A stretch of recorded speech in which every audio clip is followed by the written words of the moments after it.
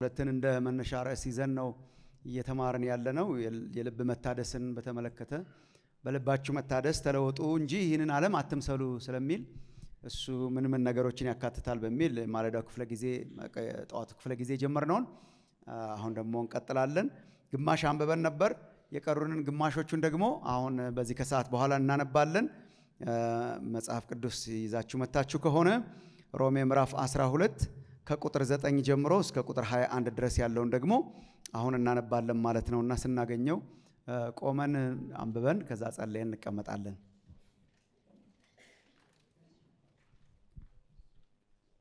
ሮሜ ምዕራፍ 12 ከቁጥር 9 ጀምሮ እስከ ቁጥር 21 ድረስ በጌታ ስም አነባለሁ። ፍቅራችሁ ያለ ግብዝነት ይሁን፣ ክፉን ነገር ተጸየፉት፣ ከበጎ ነገር ጋር ተባበሩ። በወንድማማች መዋደድ እርስ በርሳችሁ ተዋደዱ፣ እርስ በርሳችሁ ተከባበሩ። ለሥራ ከመትጋት አትለግሙ፣ በመንፈስ የምትቃጠሉ ሁኑ።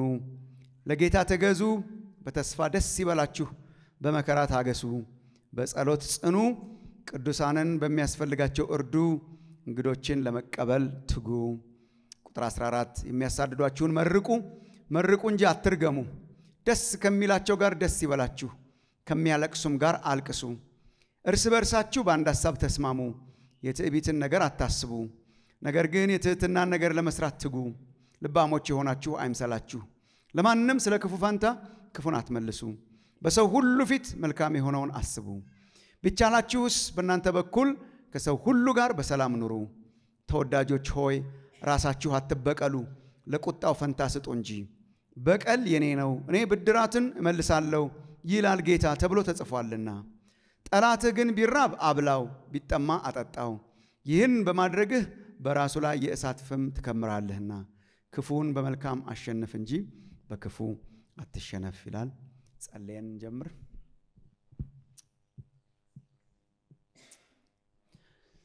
አቤቱ ንጹሕ ልብን ፍጠርልኝ ብሎ እንደለመነ ባሪያህ ጌታ ሆይ የተለወጠውን ልብ ፍጠርልን። እግዚአብሔር ሆይ እውነትህን ባየን ቁጥር እግዚአብሔር አምላክ ሆይ በተወቀስን ቁጥር በሰማን ቁጥር እግዚአብሔር አምላካችን ሆይ የተለወጠውን እግዚአብሔር አምላክ ሆይ አንተን ለማክበር የሚናፍቀውን ልብ እንድትሰጠን እንጸልያለን። ይሄንን ደግሞ በዚህ ከሰዓት በኋላ ያለንን ጊዜ የተባረከ አድርግልን። አስተምረን አንተ እግዚአብሔር ሆይ በፊት የቆምነው ከአንተ ለመማር ነው። እግዚአብሔር አምላክ ሆይ ያ መንፈስ በመጣ ጊዜ ወደ እውነት ሁሉ ይመራችኋል። የእውነት መንፈስ በመጣ ጊዜ ወደ እውነት ሁሉ ይመራችኋል ተብሎ በቃልህ ተጽፏል። ጌታ ሆይ መንፈስህ ይምራን፣ መንፈስህ ይናገረን። እግዚአብሔር አምላክ ሆይ ጊዜያችን ላንተ አሳልፈን እንሰጣለን። ስለ ወንድሞቼ፣ ስለ እህቶቼ፣ ስለ አካልህ፣ ስለ ቤተ ክርስቲያን አመሰግናለሁ። በጌታ በኢየሱስ ክርስቶስ ስም አሜን።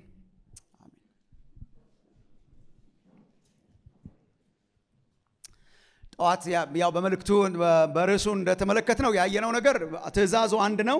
እንግዲህ እግዚአብሔር ከሰራው ስራ ተነስተን የተለመንነው የተገሰጽነውም ይሄንን ዓለም አትምሰሉ፣ ግን ደግሞ ፍጹም በጎ ደስ የሚያሰኘውን የእግዚአብሔርን ፈቃድ እየፈተናችሁ እሱ ምሰሉ ነው።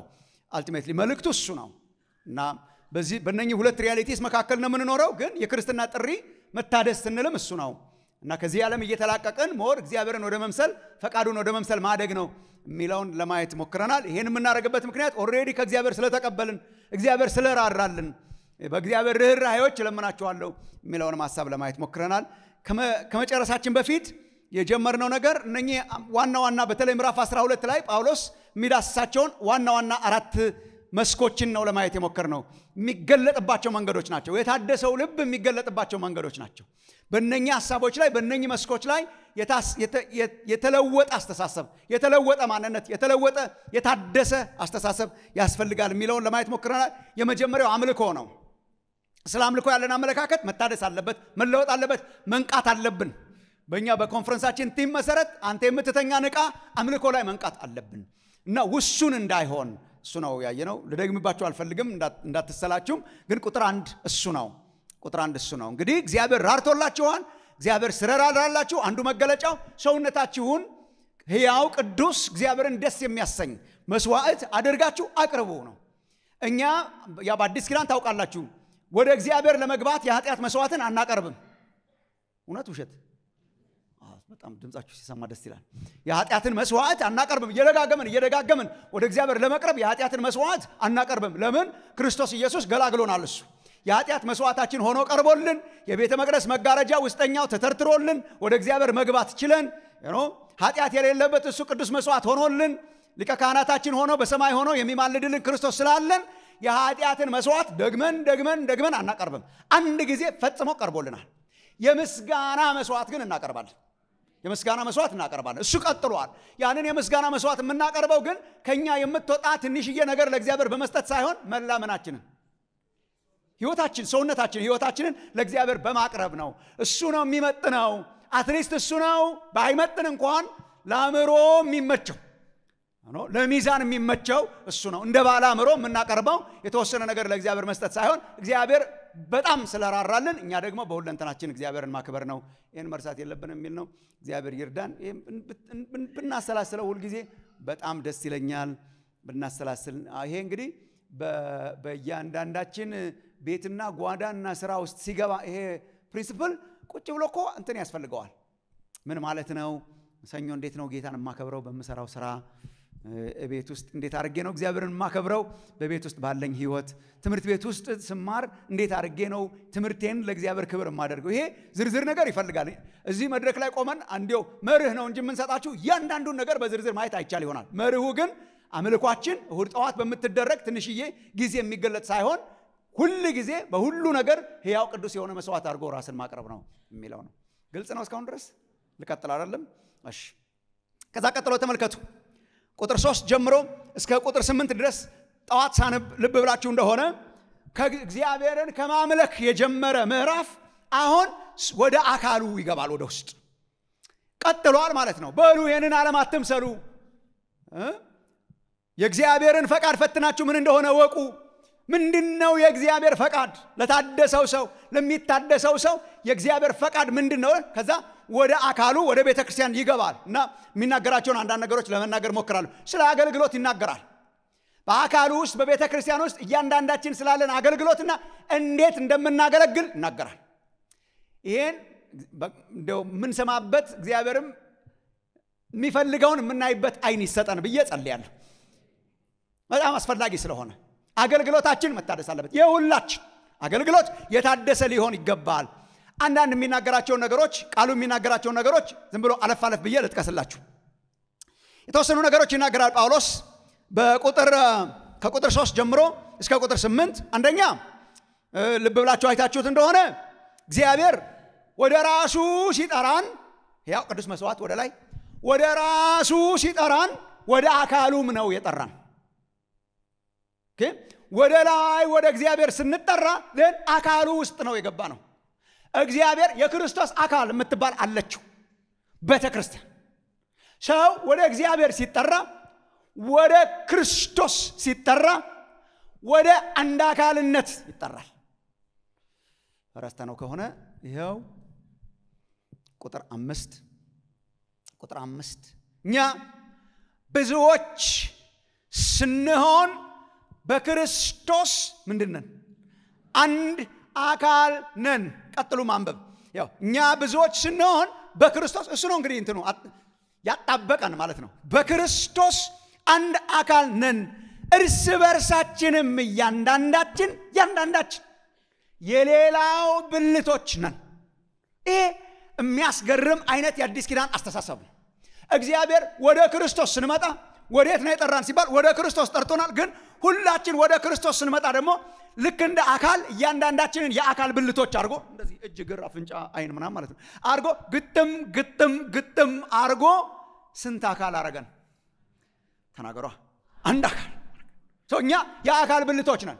እግዚአብሔር በዚህ ዘመን ያለን ክርስቲያኖች መስማት አለብን። እግዚአብሔር ወደ ክርስቶስ ጠርቶ በአየር ላይ አያንጠለጥልም። ወደ ክርስቶስ ጠርቶ ማድረሻ አለው። ማድረሻው አካሉ ናት ቤተ ክርስቲያን። ልክ እንደዚህ አጥቢያዊት የሆነች ይሆናል። ደግሞ ልክ ደግሞ ሁሉ አማኞች የተሰባሰቡባት ትልቋ ትሆናለች። ብቻ ክርስቶስ አካል አለው። ቤተ ክርስቲያን ትባላለች። መገለጫዋቸዋ አጥቢያ እንደዚህ እያለን የምንገለጠው እነሱ እዚያ ውስጥ ወስዶ ደግሞ ያስገባናል። ሰው ወደ ክርስቶስ ሲጠራ የአካል ብልት ሆኖ አካል ውስጥ ገብቷል። አካል ውስጥ ገብቷል። በቃ እሱ ነው ዳግም ልደት እሱ ነው። ክርስቶስ እሱ ነው። ክርስቶስ እሱ ነው። የታረቅነው ወደ ላይ ብቻ ሳይሆን እርስ በርሳችን ጭምር ነው። በቃ የአካል ብልቶች አድርጎናል። ወደ አካሉ ተጠርተናል ነው። ይህም ብዙ አልሄድበትም፣ ግን በጣም ዘመነኛ አስተሳሰብ የሚመስል እየመጣ ነው። እኔ ጌታን ወዳለሁ፣ ጌታ ኢየሱስን ተቀብያለሁ፣ የዘላለም ሕይወት አግኝቻለሁ። church ያስፈልጋል? የግድ ሰው ለመዳን church ያስፈልጋል? እናንተ ሰፈር ካልመጣ በጣም ደህና ናችሁ ማለት ነው። ነው የራሳችን አንዳንድ ያጋጥማል። የራሳችን ሰምሃው ህብረት ስንችል ስንችል እንሰብሰብ እንላለን። church መሪ፣ አገልጋይ፣ ተገልጋይ ምናምን ያለበት ምንም አያስፈልግም። ጌታ ኢየሱስን እወዳለሁ ግን church የሚባል ነገር ምናምን የሚሉ ሰዎች አሉ። ኢየሱስን ወዶ አካሉን መጥላት አይቻልም። የፈለገ ድካም ቢኖርባት እንዴ ጨጭ ስላላችሁ መናገር እንቀጥላለሁ። የፈለገ ድካም ቢኖርባት ብታነክስ ቤተ ክርስቲያን የክርስቶስ አካል ናት። የፈለገ ቢሆን ችግር አለባት። አብሶሌትሊ ጩኸት አለ፣ ልክ ነው። ድካም አለ፣ ልክ ነው። የማን ናት? የኢየሱስ ናት። ለምንድን ነው ድካምና ጩኸት ያለው? ድካምና ጩኸታችንን ማስተካከል አለብን። እንወቀሳለን፣ በእግዚአብሔር ቃል እንታጠባለን፣ ንስሐ እንገባለን፣ ራሳችንን እንሰራለን። ግን እየተሰራች ያለች ናት። ተሰርታ ስታልቅ አስደናቂ ናት። የፊት መጨማደድ አይኖርባትም። ምንም አይነት ነቁጥ አይኖርባትም። ንጽሕት ድንግል የሆነችን አንድ ቀን ለራሱ መጥቶ ይወስዳታል። እስከዚያው ድረስ ትዘጋጃለች፣ እስከዚያው ድረስ ትሰራለች። ስለዚህ ጫጫታና ሁካታ ሊኖራት ይችላል። ግን ቤተ ክርስቲያን የክርስቶስ አካል ናት። ወደዛ ነው የጠራን ወደዛ ነው የጠራን። አንዳንድ ሰዎች የቤተ ክርስቲያንን ድካም ያዩና no እንትን ቤተ ክርስቲያንን እንደ ምግብ ቤት የሚያማርጧት ሰዎች አሉ። እስቲ ቆይ check ላርግ። no no no no no ከዛ ለእኔ የሚመጥን አላገኘውም የሚሉ እንዳሉ ታውቃላችሁ። church ለኢየሱስ ከመጠነች እኛ ማንን ወንድሞች የእኔ ካላት ቤተ ክርስቲያኔ ካላት ከነ ድካሟ ሰባቱን አብያተ ክርስቲያናት አንብብ ወንድሞች ናቶች ከነ ድካማቸው ከነ ችግራቸው ከነ ነቀፌታቸው ከነ ነገር ግናቸው ቤተ ክርስቲያኔ በመካከሏ walk የሚያደርግ በመካከሏ የሚሄድ እየሰራት ያለ ኢየሱስ ክርስቶስ ስላለ ተስፋ አለ። እኛ የተጠራ ነው ወደ ክርስቶስ ብቻ ሳይሆን ወደ እርስ በርሳችን ወደ አካሉ ነው። እግዚአብሔር ስለ አካሉ የተመሰገነ ይሆን። የምንገለገልባት አንዳችን ለአንዳችን ለበረከት የምንሆንባት ናት። አየር ላይ የተንጠለጠለ እውነተኛ ክርስቲያን ሊኖር አይችልም ብዬ ነው የማምነው። በቃ ጥያቄ ካለ ሌላ ጊዜ እናወራለን። የጥያቄና መልስ ጊዜ ስላልሆነ እንዴት ሊሆን ይችል? ሰው እንዴት ሰው እንዴት ኢየሱስን ተቀብሎ አካሉን ይጠላል? እኔ sense አይሰጠኝም፣ sense አይሰጠኝም። ብቻውን ያለ የአካል ብልት እንደሌለ ሁሉ ብቻውን ሊዘልቅ የሚችል አንድ ክርስቲያን ሊኖር አይችልም ብዬ አስባለሁ። ችግር ከመጣ ችግር ነው። ብቻህን የሆነ ቦታ ምድረ በዳ አስቀምጦ ሌላ ጋር መገናኘት የማትችልበት ሁኔታ ከመጣ እሱ ችግር ነው። normally ግን ሰው ወደ ክርስቶስ ሲጠራ ወደ አካሉ ወደ ቤተ ክርስቲያን እግዚአብሔር ይርዳን። በጣም አንዱ ጠላት እየሰራ ያለው አንዱ ነገር ይመስለኝ የቤተ ክርስቲያንን ድካም በማሳየት የዘመኗን ቤተ ክርስቲያን ድካም በማሳየት አብዛኞቻችንን አንታይ ቸርች እንድንሆን ቤተ ክርስቲያን ጠል እንድንሆን እንዳንገባ እንዳናገለግል እንዴ ቤተ ክርስቲያን የኢየሱስ ሙሽሪት ናት። እየተሞሸረች ነው፣ እየለበሰች ነው፣ እየጠራች ነው፣ እየታጠበች ነው፣ እየጸዳች ነው፣ እየተሰራች ነው። ተሰርታ አላለቀችም፣ ግን ወደ አካሉ ጠርቶናል። ይሄ አንዱ ነገር ነው ጳውሎስ የሚናገረው። አካል ውስጥ ግቡ ወንድሞቼ እህቶቼ። አካል ጥብቅ ጥብቅ ጥብቅ ጥብቅ ያለ ጆይንት እና ጥብቅ ጥብቅ ጥብቅ ያለ የተያያዘ አካል ሆነ እንድናገለግል ነው እግዚአብሔር ፈቃድ። በቃ በቃ ግብት እንድንል ሜዳ ላይ እንድንሆን አልተጠራንም። እንድንገባ እንድናገለግል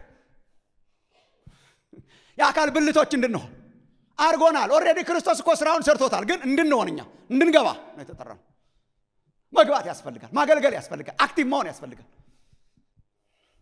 እኛ አሁን ደህና እየሆንን ነው። ግን በጣም ብዙ ክርስቲያኖች እዚህ አሁን ለምሳሌ ኮቪድ የመጣ ጊዜ መገናኘት አልቻልንም ነበር። ያሁን በእኛ ሀገር ቶሎ ነው የተገናኘ ነው። ተመስገን ነው። አንዳንድ ሀገር ቶሎ መገናኘት አልተቻለም። እንደዚህ መሰብሰብ መሰብሰባችሁን አትተው ያለውን ኮቪድ መጣና መሰብሰባችሁን ተው አለ እና ተውን። እኛም ግድ ነበር መሰብሰባችን። በተወሰነ ጊዜ በጥንቃቄ ተሰበሰብን፣ ግን መጣና በቃ መሰብሰብ አልቻልንም። ተበተነን በየቤታችን።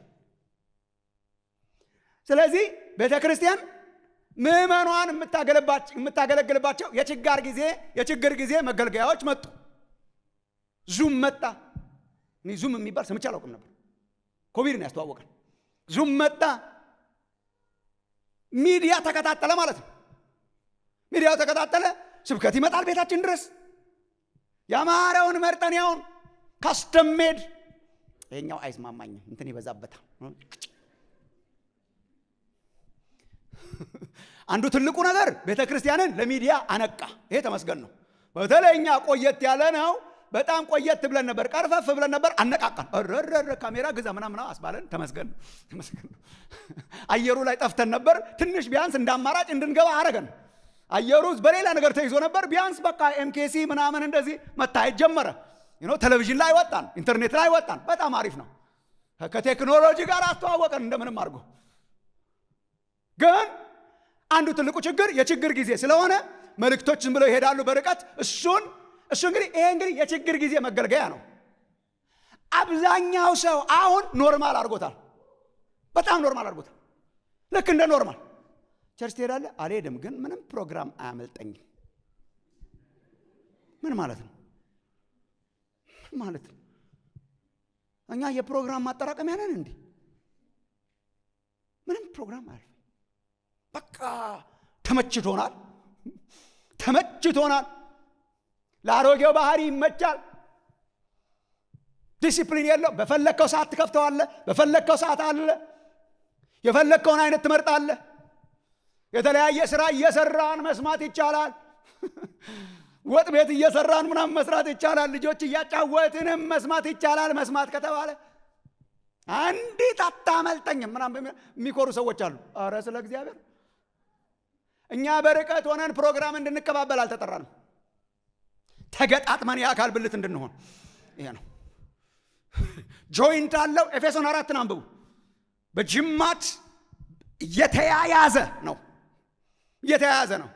የርቀት ጊዜ የችግር ጊዜ መገልገያ ነው እንጂ የሁል ጊዜ ሊሆን አይችልም። ሁል ጊዜ ቁጭ ብለን ፕሮግራም ዝም ብለን እየተቀበልን እንድንኖር የእግዚአብሔር ሀሳብ አይደለም። እየተገናኘን እያገለገልንም እየተገለገልንም መሰብሰባችንን ሳንታው ከ comfort zone መውጣት ያስፈልጋል። ከምቾቶቻችን መውጣት ያስፈልጋል። አዎ ሚዲያ አትከታተሉ ምናምን ነው የምትለን፣ ተከታተሉ። መምረጥ ይኖርባቸዋል። እኔ አሁን YouTube የሚለውን ለማሰላሰል ሞክሬ ነበር። YouTube አሁን የሚለው እኮ በአማርኛ አሁን ይተርጎም ቢባል maybe you የአንተ ምናምን ቢሆን tube እኮ ቱቦ ነው። ምንም አሁን tube እኮ ቱቦ ነው ማለት ትርጉሙ ማለት ነው። ቱቦ ቱቦ ነው ማለት መርጦ አይዝም። አግበስብሶ ነው ይዞ የሚሄደው። check አድርጎ ከፈለገ አንድ ጊዜ ድሮ ምስራቅ በሯ መውጫዋ ላይ የሆነ ቱቦ ነበር፣ ቆሻሻ ምናምን የሚያልፍበት የተቦደሰ ምናምን ነበረው እና አንድ ቅዳሜ ወጣቶችን አገልግዬ ደክሞኝ ነበር። ከሆነ flight መጥቼ ወጣቶችን አገልግዬ ስወጣ ቻው ቻው እየተባባልን ይሁን ምናምን እያደረገን ሄጄ ቱቦ ውስጥ ገባሁ። ይዤው የወጣሁትን አረሳውም እስካሁን። ቱቦ ቱቦ ነው ወገኖች፣ አይመርጥም። ውሃም ይኖረዋል፣ ግን ሌላም ነገር ይኖረዋል። ዝም ብሎ አይጠጣም። ቲክቶክ እንደዛ ነው፣ ዝም ብሎ አይጠጣም። እንብሰል እንጂ ሕፃን ልጅ ሲያገኝ ሊንቦጫረቅበት ይችላል።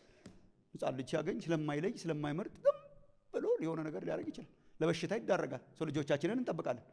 ልጆቻችንን ከስንት ቱቦ እየመረጥን እኛ ራሳችን እዛ ውስጥ ገባን። ምንም አይመርጥም። ማጥለል ይጠይቃል። መምረጥ ይጠይቃል።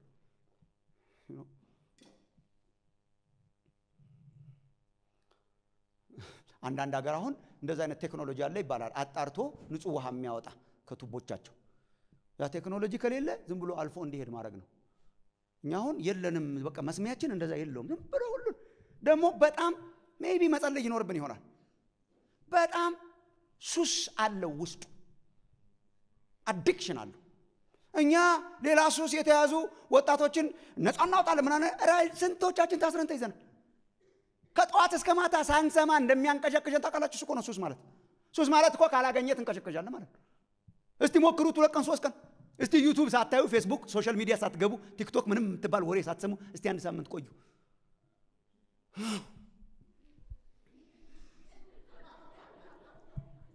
serious serious በጣም addictive ስብከትም እኮ ሰማለሁ። ስንት በወሬ አረ እንዴት ስንት ነገር ሾ እዩ፣ ግን ምረጡ። ቴክኖሎጂ መጠቀም እኔ against አይደለሁም። እዩ፣ ግን ምረጡ። ቱቦ መሆኑን አትርሱ። አንድ ሁለት ተከታታይ የፕሮግራም ተከታታይ እንድንሆን ግን እንዳልተጠራን እነግራችኋለሁ። የአካል ተካፋይ እንድንሆን የተጠራን አካል ውስጥ ግብት እንድንል ነው እንጂ የተጠራ ነው። የሚላክልንን በርቀት እንድንከታተል ግን እግዚአብሔር አልጠራን። so balance መፍጠር ያስፈልጋል። መከታተል ጥሩ ነው።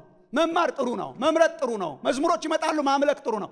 የቤተ ክርስቲያን ምትክ እንዳይሆኑ፣ የአካል ምትክ እንዳይሆኑ።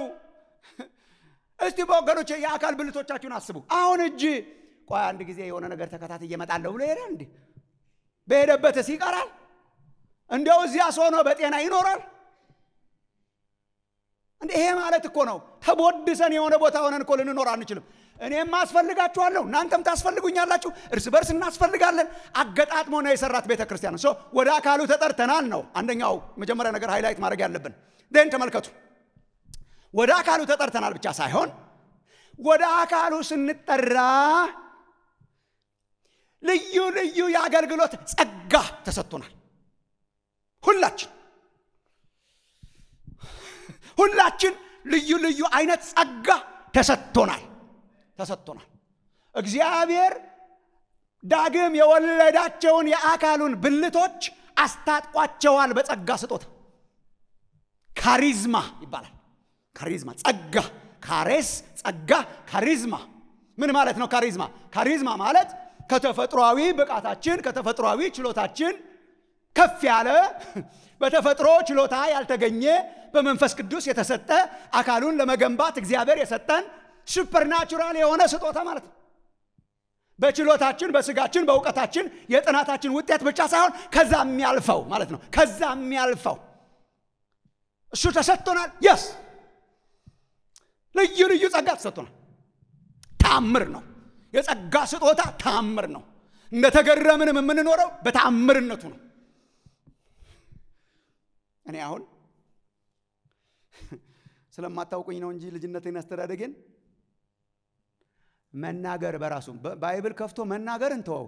መናገር በራሱ የጸጋ ስጦታዬ ነው። መናገር ዝም ብሎ እግዚአብሔርን አለማክበር አልችልም። ማሙሻ እንዴት አይነት የንግግር ችሎታ አለ ብትለኝ እናቴን አውሯት ትነግራችኋለች የነበረብኝን ችግር። እኔ በልጅነቴ የማይናገር ሰው ነበርኩ። ችግርም ፈጥሮ ያውቃል ቤታችን ውስጥ። ቤታችን ሶስተኛ ልጅ ነኝ። ሁለት ታላላቅ እህቶች ነበሩኝ። አንዱ አሁን በህይወት የለችም እና ብዙ እንክብካቤ ነው ያደግኩት በእናቴና በሁለት ሶስት እናቶች አሳደጉኝ ማለት ትችላለች። በጣም ዋና ችግር ግን አላወራም። ትምህርት ቤትም አላወራም፣ ጓደኛም አልይዝም፣ እንትንም አላረግም። ዝም ነው። አንዳንድ ቦታ ተወስጄ እንደነበረ ይነግሩኛል ወላጆች ለማም እንዲሁ ይሄ ነገር እንዴት ነው ተብሎ ማለት ነው። ወደ አስረኛ አስራ አንደኛ ክፍል ሲሆን ሃይ ስኩል ስደርስ ምናምን ትዝ ይለኛል። አሁን አሁን እየሳቁ ያወራሉ፣ ግን እኔም ትዝ ይለኛል፣ አስታውሳለሁ። ለምሳሌ ከትምህርት ቤት ስመለስ ምሳ ሳይሰጡኝ ዝም ይላሉ። በጠራራ ፀሐይ መጥቼ ማለት ነው። እና እኔም ዝም እላለሁ።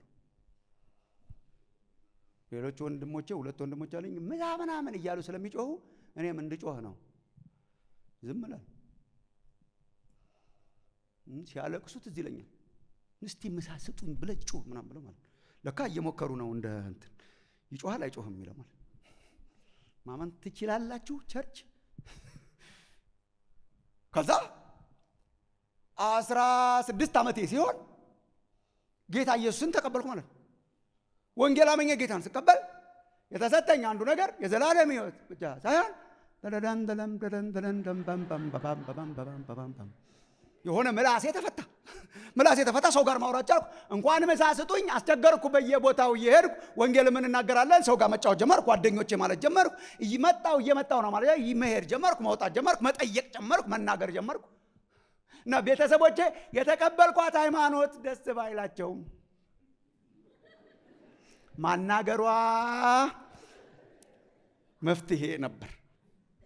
እግዚአብሔርን ሁልጊዜ የማመሰግነው አንድን መናገር የማይችል ሰው ወስደህ ስራውን መናገር ማድረግ፣ አገልግሎትን መናገር፣ የንግግር ማድረግ ይሄ ኢየሱስ ካልሆነ ማን ሊያደርገው? ይሄ መንፈስ ቅዱስ ካልሆነ ማን ሊያደርገው ይችላል? ይሄ reality ነው። ይሄ ሕያው ምስክር ነኝ እኔ ሕያው ምስክር ነኝ። ይሄ ምን ይባላል? charisma ነዋ። ማንመካው እኮ ለዚህ ነው። ማንመካው እኮ ለዚህ ነው። wow የንግግር ችሎታዬ wow የማይባልበት እኮ ምክንያት ሰው በጸጋ የተሰጠው ነገር አያስመካውም። የጸጋ ነዋ። ጸጋ ማለት ለማይመጥን ሰው እንዲመጥን የተደረገ ማለት ነው። qualify ለማያደረግ ሰው የተሰጠ ማለት ነው። ስለዚህ እኔን አናገረኝ፣ እናንተን ምን እንዳደረጋችሁ አላውቅም፣ ብቻ እግዚአብሔር የሆነ ነገር ሰጥቷችኋል። አለማወቅ ይሆናል፣ identify አላረግነው ይሆናል፣ ውሱን የጸጋ ስጦታዎችን ብቻ እያሰብን አላወቅ ነው ይሆናል እንጂ ጸጋ እግዚአብሔር ሰጥቶናል። ከየት አገኘ ነው? ተመልከቱ። አካሉ ብቻ ሳይሆን የጠራ እስቲ ቁጥር ሶስት ተመልከቱ። እግዚአብሔር ለእያንዳንዱ የእምነትን መጠን እንዳካፈለው እንደ ባለ አእምሮ እንዲያስብ እንጂ ማሰብ ከሚገባው አልፎ በትዕቢት እንዳያስብ እንመጣበታለን። በመካከላችሁ ላለው ለእያንዳንዱ በተሰጠኝ ጸጋ በተሰጠኝ ጸጋ እናገራለሁ ይላል። ይሄን የሚለው ማን ነው? ብሰማ ድምፃችሁን በጣም ደስ ይለኛል። በተሰጠኝ ጸጋ እመክራለሁ እያለ የሚጽፈው ማን ነው? ጳውሎስ አይደለም? ጳውሎስ ጸጋ ተሰጥቶታል አልተሰጠውም? አይመስላችሁም? ምን ጸጋ? ለምሳሌ ሐዋርያ ነው አስተማሪ ነኝ ይላል። አንዳንድ ቦታ አለካ ደረብም ያደርጋል። እግዚአብሔር ለረዳችሁ ደረብ ደረብ ያደርጋል። የወንጌል ሰባኪ ነገር ነው፣ ወንጌላዊ ነገር ነው። የተለያዩ ጸጋ ስጦታዎችን እግዚአብሔር ሰጥቶታል። so አሁን ጳውሎስ ለእኔ ጸጋ ተሰጠኝ ሲል ዋ ይገርማል ብላችኋል። of course ጳውሎስ ነዋ፣ of course ጳውሎስ ነዋ፣ የ church መሪ ነዋ፣ ሐዋርያ ነዋ። ጳውሎስ ጸጋ ተሰጥቶታል። ያ አገልጋይ ነዋ። ለአገልጋይማ ጸጋ ይሰጣል እግዚአብሔር። እኛም እነግራችኋለን እኮ ይሄን ጸጋ ተሰጥቶኛል ብለን የነብይነት ጸጋ ተሰጥቶኛል፣ የአስተማሪነት ጸጋ ተሰጥቶኛል፣ ፓስተርነት ጸጋ አለኝ። ራሱ አይገርምም? ራሱ በጣም ብዙዎቻችን የማንናገራት ጳውሎስ የሚናገራትን ግን ቀጥሉ። እኔም ጸጋ ተሰጥቶኛል በተሰጠኝ ጸጋ የምነግራችሁ ነገር ግን እሺ፣ በተሰጠኝ ጸጋ ለእያንዳንዱ እያንዳንዱ በሉ እስቲ ኧረ በደንብ ጮክ ብላችሁ እያንዳንዱ ማለት every single ክርስቲያን ማለት ነው። እያንዳንዱ ለእያንዳንዱ እናገራለሁ ይላል። ምንድን ነው የምትነግረን? በአንድ አካል ብዙ ብልቶች እንዳሉን የብልቶችን ሁሉ ስራ አንድ እንዳይደለ እንዲሁ ብዙዎች ስንሆን በክርስቶስ አንድ አካል ነን። okay እርስ በእርሳችንም እያንዳንዳችን የሌላው ብልቶች ነን። yes ቅድም ያየ ነው። እንደተሰጠንም ጸጋ ልዩ ልዩ ስጦታ አለን። ይሄ ነው እኔ ጸጋ አለኝ ብቻ ሳይሆን እያንዳንዳችን ልዩ ልዩ ስጦታ አለን። ክብር ለእግዚአብሔር ይሁን። የጸጋ ሁሉ አምላክ ስለሆነ ጳውሎስ ብቻ ሳይሆን ጸጋ ተሰጠኝ የሚለው እያንዳንዳችሁ እያንዳንዳችን በክርስቶስ የሆንን አንድ አካል ለመሆን የተጠራን ሁላችን እያንዳንዳችን ጸጋ ካሪዝማ ተሰጥቶናል በመንፈስ ቅዱስ በመንፈስ ቅዱስ ጸጋ ያልተሰጠው አማኝ የለም። ስራ የሌለው የአካል ብልት እንደሌለ ሁሉ አሁን የጸጋ ስጦታ አንበለው ይህን እሺ። አሁን የአካል ብቃት የአካል ችሎታ የሌለው የአካል ብልት አለ የማይጠቅም አረ በጣም የለም፣ ምንም የለም። አናውቀው ይሆናል፣ አልገባን ይሆናል፣ አናይ ይሆናል እንጂ የስህተት የአካል ብልት የለም። ሁሉ ይሰራል። የሚታዩ አሉ። ተመልከቱ ወገኖቼ፣ የሚታዩ አሉ። የእጅ አገልግሎት ምንድን ነው ቢባል በአንዴ ነው የምንሰጠው። ሲሰራ ነው የሚውለው፣ የአደባባይ ነው። እኛ እኮ ችግሩ አሁን የጸጋ ስጦታ ስንል የመድረኳን ስለምናስብ እኮ ነው የተቸገርነው። አብዛኛው የአካል ስጦታ ውስጥ የተደበቀ እንደሆነ አውቃችኋል። አብዛኛው ውጭ የሚታዩት እኮ ውስን ናቸው። የአደባባዩም አለ ትንሽ ነው። አሁን የአፍንጫ ቦታ አንድ ነው፣ እሱ አፍንጫ ናት። ጆሮም እንደዛው እዚህና እዚህ የአደባባይ ናቸው። ጆሮ ካልሆንኩ ብሎ ሰው የአካል ብልት ሁሉ ስራ ቢያቆም ሰው መሆን አይቻልም፣ አካል መሆን አይቻልም። ውስጥ አሉ ወንድሜ። አብዛኞቹ ሚሊዮኖቹ ውስጥ ነው ያሉት። ያለ ውስጦቹ እንዲያውም የአደባባዮቹ መቀጠል አይችሉም። አብ ዛሬ የአደባባዮቹ እንዲያውም የአደባባዮቹን ያቆማቸው የውስጦቹ ናቸው። ደም እያሯሯጡ እየቀዱ እየመለሱ የአደባባዮቹ ተኝተው የውስጦቹ ሲሰሩ ያድራሉ። ማታ አይንም ተጨፍና ጆሮም አትሰማ ትልቅ እንትን መብረቅ እንትን ካልሆነ እግርም ምናምን ሆና አደባባይ ሲታይ የሚውለው ቁጭ አለ ሌሊቱን ሙሉ ሲያንቀሳቀስ የሚያድር እዚህ ውስጥማ በብዙ ቢሊዮን የሚቆጠር ልባችን ውስጥ ስንት ነገር እነሱ አይ እናቆማለን የአደባባዮቹ ብቻ ይስሩ ቢባል እኮ አይሆንም። አካል የቆመው በሚታዩ የአካል ብልቶች ብቻ ሳይሆን በማይታዩ ውስጥ ባሉ በሚንቀሳቀሱ እንደዚህ ናት የኢየሱስ ቤተ ክርስቲያን። ምንድን? የውስጥም ይሁን የውጭ ብቻ የሆነ ጸጋ ተሰጥቶናል፣ የሆነ አገልግሎት ተሰጥቶናል። እኛ ሁላችን ስንሰራ ነው አካል የምትገነባው። እያንዳንዳችን ጸጋ ተሰጠን። ይሄ ኤፌሶ ምዕራፍ አራትን አንብቡ። ለምሳሌ ኤፌሶ ምዕራፍ አራት አሁን በጣም ብዙ ጊዜ የምንጨቃጨቀው በጣም ብዙ ጊዜ ግራ የሚገባን ኤፌሶን አራት 11 ነው። ኤምኬሲ እንደውም መጽሐፍ ተጽፏል፣ ካላገኛችሁ ማግኘት ይኖርባችሁ ይሆናል። ኤፌሶን አራት 11 ላይ ያሉት ስጦታዎች ምንድን ናቸው ነው? ሐዋርያት፣ ነቢያት፣ ወንጌል ሰባኪዎች፣ እረኞች እና አስተማሪዎች። አራቱ ቢሮዎች ይሏቸዋል ብዙ ቦታ። እኔ አራቱ ባሪያዎች ነው የምላቸው ከቢሮ ጋር አብሮ ስለሚሄድ ዝም ብሎ ቢሮም አይልም ባሪያም አይልም። እዛ ላይ ብቻ ዝም ብሎ ስጦታዎች ናቸው። ሐዋርያት፣ ነቢያት፣ ወንጌል ሰባኪዎች፣ እረኞች፣ አስተማሪዎች ለቤተ ክርስቲያን ሰጠ ይላል። የተሰጡ ስጦታዎች ናቸው። እነሱ እነዚህ ስጦታ ያላቸው ሰዎች ብቻ ሳይሆን ራሳቸው ስጦታ ናቸው ለቤተ ክርስቲያን። አምስቱ ስጦታዎች ማለት ነው። ምን ያደርጋሉ? ቤተ ክርስቲያንን ያስታጥቃሉ። ቤተ ክርስቲያንን ያስታጥቃሉ። ግን እንዲያው ምንም ስለማይመስለን ነው እንጂ የምንዘለው ሌላ ነገር እኮ ተናግሯል ጳውሎስ። መጀመሪያ ስለ አምስቱ ከመናገሩ በፊት ስለ አምስት ሚሊዮኖቹ እኮ ብዙ ተናግሯል። ለእያንዳንዳችን ጸጋ ተሰጠን የሚላባችሁ ነው። ቁጥር ሰባት አካባቢ ኤፌሶን አራት ሰባት ለሁላችን ጸጋ ተሰጠን ይላል። ለእያንዳንዳችን የምናገለግልበት ጸጋ ተሰጠን ይልና በቃ እንዳናድር ነው ዛሬ ሁላችንን እያንዳንዳችን ስጦታ ተቀብለናል ይላል። ስጦታ የተቀበልነው እኛ ሁላችን ነን። ቁጥር ሰባት ስታነቡ እኛ ሁላችን ነው። ዛሬ ላስ ብላችሁ ነው አስብላስ ብል ብሎኛል። ዛሬ በቃ እኛ ሁላችን በሉ እስቲ። እኛ ሁላችን ስጦታ ተቀብለናል። ስጦታ ያልተቀበለ አለ?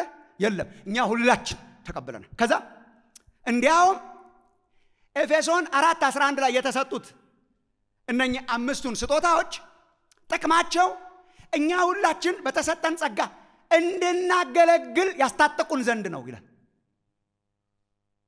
ቅዱሳን ያገለግሉ ዘንድ እንዲያስታጥቁ አምስቱን ሰጠ። አምስቱን አንዳንዶቹ አንዳንዶቹ አንዳንዶቹን ነው። አየህ፣ አንዳንዶቹን አለ፣ ሁላችን አለን። ሁላችን ምንድን ነን? ጸጋ ተሰጥቶናል፣ የሆነ ጸጋ። ስለዚህ የምናገለግለው ስንቶቻችንን? ሁላችን ሁላችን ምንድን ነን? አገልጋዮች። ሁላችን አገልጋዮች። ሁላችን እናገለግላለን። አዎ፣ ለምን? ሁላችን ጸጋ ተሰጥቶናል። ከሁላችን ውስጥ ግን አንዳንዶቹን የአደባባዮቹ አንዳንዶቹን ሐዋርያት፣ አንዳንዶቹን ነቢያት፣ አንዳንዶቹ አርጎ መሪዎች አርጎ አስታጣቂ አርጓቸዋል። ቅዱሳን እንዲያገለግሉ አስታጣቂ አርጓቸዋል። so ቤተ ክርስቲያን ውስጥ የጸጋ ስጦታ ያልተሰጠው የለም። ኤፌሶን አራት ሰባት ላይ ተሰጥቶናል። ለእያንዳንዳችን ጸጋ ተሰጥቶናል። ስለዚህ የአካል ብልቶች ሆነናል። የአካል ብልቶች ብቻ ሳይሆን የጸጋ ስጦታ ተሰጥቶናል። ምን ምን ይመስላል የጸጋ ስጦታ ካላችሁ እንዳላሳድራችሁ እዛው ላይ ማንበብ ነው። ትንሽ ሳምፕል ሰጥቶናል ጳውሎስ። አንድ ሰባት የሚሆኑ ናሙናዎች ይሰጠናል። አይታችኋቸዋል። አንድ ሰባት ይሆናሉ። አንዳንዶቹ ጸጋ ስጦታዎች ናቸው ብለን የማንጠረጥራቸው ሁሉ ዱብ ይላሉ። ስለዚህ ጸጋ ስጦታ አልተሰጠኝም ብለን ጸጥ ያልንበት አንዱ ምክንያት አንዳንዱ የጸጋ ስጦታ የጸጋ ስጦታ አይመስልም። ላንብብላችሁ። እሺ ሰባቱን ተመልከቱ እዛው ላይ እንደተሰጠንም ጸጋ ልዩ ልዩ ስጦታ አለን። ለምሳሌ ትንቢት of course ማሙሻ ትንቢት ጸጋ ስጦታ ታዲያ ትንቢት ቢሆን እንደ እምነታችን መጠን ትንቢት እንናገር። አገልግሎት አገልግሎት የሚለው service ነው።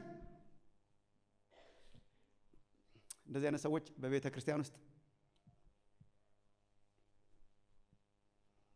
አስደናቂ ሚና የሚጫወቱ ሰዎች ናቸው። አታያቸውም፣ ግን service ይሰጣሉ። እንዳገለገሉ ነው። እዚህ ቦታም አሉ፣ እዛ ቦታም አሉ፣ እዚህም ቦታ አሉ። ማንም የማይፈልጋትን እቺ ዝቅ ብሎ ማገልገል አለቻቸው። serve serve serve። በቃ የባርነት መንፈስ በውስጣቸው አለ። serve እሺ፣ እንትኑንም እንትኑንም እንትኑንም እንትኑንም አሁን ይሄ የጸጋ ስጦታ የምንለው አይደለም። እኔ አሁን በቤተ ክርስቲያን እኔ በማመልክባት የማውቃቸው አሉ። በቃ አሉ። ሰው አያያቸውም። እነሱ ባይኖሩ ጸዳ ያለ ምንጣፍ አታይም ነበር መድረኩ ላይ። እኛ አንድ ሰሞን ተጨንቀን ኧረ የሚያጸዱ እንቅጠርላችሁ ምናምን አልናቸው። ኧረ በፍጹም አገልግሎታችን ነው የሚሉ ማለት ማለት ማንም የማይነካቸውን ውስጥ ያሉ ነገሮች ነካ ነካ ነካ ነካ እያደረጉ የሚያቆሙን ማለት service ጸጋ ስጦታ። ይህን ካላረጉ መኖር የማይችሉ አሉ። አገልግሎት ማስተማር አይገርምም? ማስተማርም የጸጋ ስጦታ ነው ለካ። አሁን እንኳን ደህና ነው እያመንም መተናል። ኢትዮጵያ church ድሮ ማስተማር እንደ ጸጋ ስጦታ አይቆጠርም ነበር። ትንቢት ይቆጠር ነበር፣ ፈውስ ይቆጠር ነበር፣ ልሳን ይቆጠር ነበር። በልሳን የተነገረውን መተርጎም ማስተማር ግን ጸጋ ስጦታ። እንደውም ድሮ አሁን አሁን ቀረ እንጂ አሁን እንኳን ብቻዬን ነው የሚሄደው። ግን ድሮ አሁን ኮንፈረንስ ስንጋበዝ እኛ ዛሬ 25 ዓመት 27 ዓመት ምናምን እኔ ብቻዬን ተጋብዣ አላውቅም። ብዙ ጊዜ ኮንፈረንስ ክፍለ ሀገር ምናምን ስንሄድ በቃ ያዝልን እና እንትናንም ጋብዘናል፣ እሱ በጸጋ ያገለግለናል፣ አንተ ቃል ታስተምራ ማለት ተደጋግፈን መሄዳችን እኮ wrong አይደለም። በፈውስ የሚያገለግለውም ሰውዬ አብረን መሄዳችን እኮ ለበሽተኛ የሚጸልየው ሰውዬ እኮ ችግር የለውም። ግን ንግግሩ ንግግሩ ልክ አልነበረም። እሱ በጸጋ አንተ በማስተማር አይ አይ ማስተማር sample ኦቹ ማለት ነው ወገኖች። ማስተማር፣ መምከር። አሁን እስቲ ተመልከቱ ወገኖች፣ መምከር የሚባል የጸጋ ስጦታ እንዳለ ታውቃላችሁ? መምከር በጣም ብዙ ነገሮች መድረክ ላይ በሚሰጡ ትምህርቶች ብቻ አይፈቱም። በጣም ብዙ ነገሮች ምክር ደግሞ ያስፈልጋቸዋል። እዚህ ቁጭ ብለን doctrine እናስተምራችሁ ይሆናል፣ ግን በምክር የሚፈቱ ነገሮች አሉ። መካሪዎች አሉ፣ ያብዛልን እግዚአብሔር። መካሪዎች ውስጥ ገብተው ሲመክሩ ይሰማሉ። እኔ እንደዚህ ነው ተብሎ እንደተጻፈው ተብሎ እንደተጻፈው ብዬ የባሰ አጣልቻቸው ባልና ሚስቱን ከሰዓት በኋላ እነሱ ያገኘ ተስማሙ እኮ ይላሉ። እንዲ ስንት ጥቅስ ላያቸው ላይ አውርጄ ያልተስማሙ እንዴት ነት አይ እንትን አልኳቸው፣ ከዛ እንትን አልኳቸው፣ ከዛ እንትን አልኳቸው። ታርቀው ከሰዓት በኋላ አሁን የምስጋና ፕሮግራም አለ ትመጣለህ ይላሉ። እኔ ጸጋ አይደለም እነሱ ጸጋቸው ናቸው። ስለሰበክን ሁሉ ጸጋችን ነው ማለት አይደለም። መካሪዎች አሉ። መምከር አሁን መስጠት እዚህ ላይ እቀልድ ነበር፣ መቀለድ አቆሚያለሁ። አሁን መስጠት ያላችኋሉ። ሁላችን እኮ እንሰጣለን፣ አስራት እንሰጣለን፣ መባ እንሰጣለን፣ ለድሃም ትንሽ ትንሽ እንሰጣለን፣ የተራረፉ ነገሮቻችንን። ግን ዝም ብለው ሳይሰጡ የማይኖሩ ሰዎች አሉ church ውስጥ። አይናገሩ ይሆናል፣ የአደባባይ ሰዎች አይደሉም። ብዙ ጊዜ ይሰጣሉ፣ ለቤተ ክርስቲያንም ይሰጣሉ፣ ለድሆችም ይሰጣሉ። በነገራችን ላይ ለተቸገሩ ሁሉ ይሰጣሉ።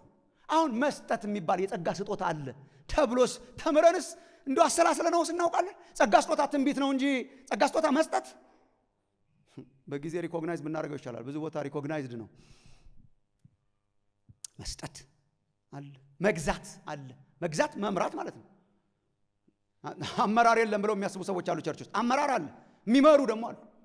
መምራት አለ፣ leadership አለ፣ administer ማድረግ አለ፣ መግዛት አለ፣ መማር አለ፣ mercy ምረት ማድረግ ለተቸገሩ የተቸገሩትን እየዞሩ ሲረዱ የሚውሉ የወደቀውን የሚያነሱ ሌዋዊው ሊያልፋቸው ይችላል፣ ግን ማያልፉ service mercy ያላቸው አሉ። አዲስ ኪዳን ላይ የጸጋ ስጦታ ከሀ እስከ ፐ የተዘረዘረበት ቦታ አለ ብዬ አላምንም። sample sample ነው የሚሰጠን። አንደኛ ቆሮንቶስ ምዕራፍ 12 ላይ የተወሰነ አለ። ሮሜ 12 ላይ የተወሰነ አለ። ኤፌሶን አራት ላይ የተወሰነ አለ። አንዳንድ ቦታዎች ላይ አሉ። የሚነግረን ምንድን ነው? የጸጋ የማይመስሉ እንኳን በጣም ብዙ ልዩ ልዩ አይነት ችሎታዎችና ብቃቶች ቤተ ክርስቲያንን ሊገነቡ የሚችሉ ነገሮች እግዚአብሔር ለእያንዳንዱ ምእመን ሰጥቷል። ጸጋን የሰጠን አምላክ የተባረከ ይሁን። ወደ አካሉ ጠርቶናል። ወደ አካሉ ሲጠራን ደግሞ ጸጋ ስጦታ ሰጥቶ ነው የጠራን። ካላወቅ ነው ብንጸልይ በጣም ጥሩ ነው። ጌታ ሆይ በአካልህ ውስጥ ምን ቀዳዳ እንድሸፍን ነው የጠራኝ? ይህ በጣም ጥሩ ጸሎት ነው ወገኖች። ምንድናት እኔ ውስጥ ያስቀመጥካት? ያችን መክሊት ማግኘት ይሁንላችሁ እግዚአብሔር። ነግዳችሁ አትርፋችሁባት ኢየሱስ እንዲያገኛችሁ ያችን ምንድናት ለእኔ የሰጠኝ? እሷ እሷን ማወቅ በእሷ መሰማራት በጣም ጥሩ ነው ወገኖች። ሁሉን ነገር ለማድረግ እኛ አልተጠራንም።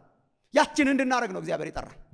እሷን የውስጥ ትሆናለች፣ አካል ውስጥ ያለች በአደባባይ የምትገለጥ ትሆናለች። ብቻ የሰጠንን ለይቶ ማወቅ በጣም ያስፈልጋል። ወደ አካሉ ጠርቶናል፣ ስጦታ ሰጥቶ ጠርቶናል ነው ቲዮሎጂው። ከዛ ምናችን ነው ታዲያ መለወጥ ያለበት? አስተሳሰባችን። በልባችሁ መታደስ ተለወጡ። በልባችሁ መታደስ ተለወጡ። ምን መሰላችሁ ወገኖቼ? አካሉ ውስጥ ስጦታ ሰጥቶን የምናገለግል ከሆነ አንድ ሁለት ቃላት አሉ ወደፊታችሁ ማምጣት የምፈልገው በምን እናገልግል ይላል ጳውሎስ። እንዴት አድርገን ነው እናገልግል የሚለው አንደኛ በትህትና እናገልግል ይላል። በትህትና የእግዚአብሔር ፈቃድ ለአገልግሎታችን ምንድን ነው? ጸጋችንን ለይተን በትህትና ማገልገል፣ በትህትና ማገልገል። ስሙኝ ወገኖቼ፣ በጣም church ን እያመሰ ያለ concept ስለሆነ ቁጥር ሶስትን ተመልከቱ። ቁጥር ሶስት ቁጥር ሶስት ትዕቢትን ትዕቢትን define ያደርግላችኋል። የትዕቢት ትርጉም ይሄ ነው። የትዕቢት ትርጉም እግዚአብሔር ለእያንዳንዱ የእምነትን መጠን እንዳካፈለው እንደ ባለ አእምሮ እንዲያስብ እንጂ ማሰብ ከሚገባው አልፎ በትዕቢት እንዳያስብ ስለ ራሱ። የታደሰው ሰው እንዴት ያገለግላል? ማሰብ ከሚገባው በላይ ስለ ራሱ አያስብም።